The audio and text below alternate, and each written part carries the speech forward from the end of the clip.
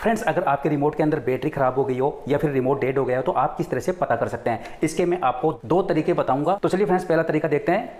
ये, यहाँ पर एक 5 वोल्ट की एलईडी और एक लिथियम सेल लीजिएगा और इन दोनों को रिसीवर पे इस तरह से लगा दीजिएगा। अब आप इस सर्किट पे कोई भी रिमोट चेक कर सकते हैं। अब फ्रेंड्स यहाँ पर मैं आपको बहुत ही ईजी तरीका बताता हूँ। जैसा कि आप देख सकते हैं, यहाँ पर मेरे हाथ में है ये एक रिमोट अगर हमारे रिमोट के अंदर बैटरी डेड हो गई हो या फिर हमारा रिमोट डेड हो गया हो तो हम इस तरह से पता करेंगे। सबसे पहले यहाँ पर कैमरा ऑन कर लेंगे और कैमरा ऑन करने के बाद में यहाँ पर हम रिमोट का कोई भी बटन दबाएँगे।